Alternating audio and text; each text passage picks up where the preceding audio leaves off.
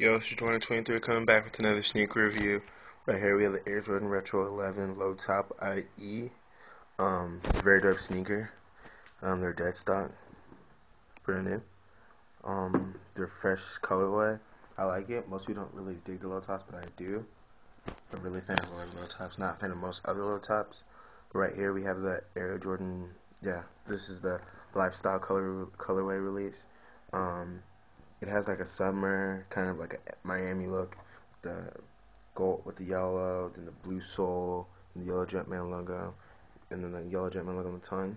The whole sneaker, as you can see, is a patent leather, and then has a mesh, and then has yellow cement print, and then has a like an ace blue sock liner, yellow Jumpman logo, white insole, 11 rope laces, um, pretty icy.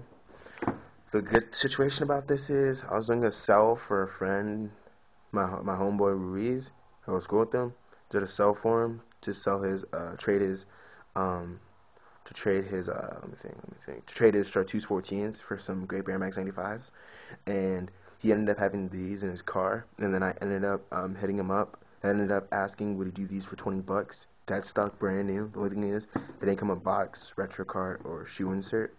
So Jordan DBJ's 24 came with me. So I he asked, and then then I bargained with them. I told him I couldn't go any low higher, and he said fuck it. He was trying to get rid of these, and I took him off his hands. Very sick sneaker, patent leather, all around foam no creases.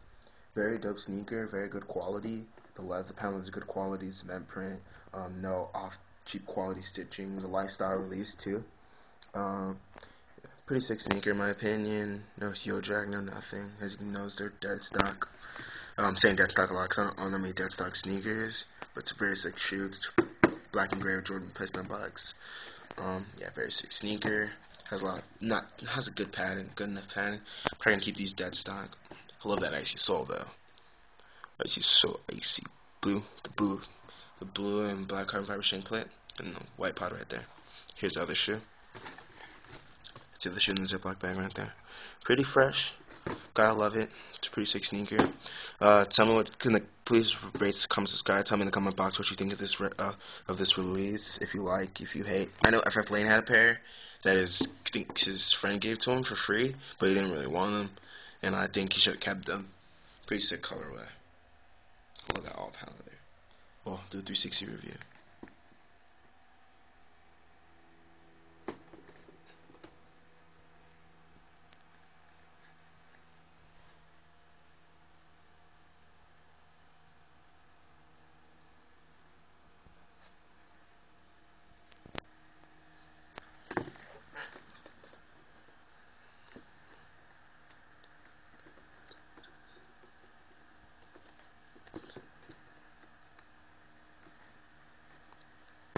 That's it for the review.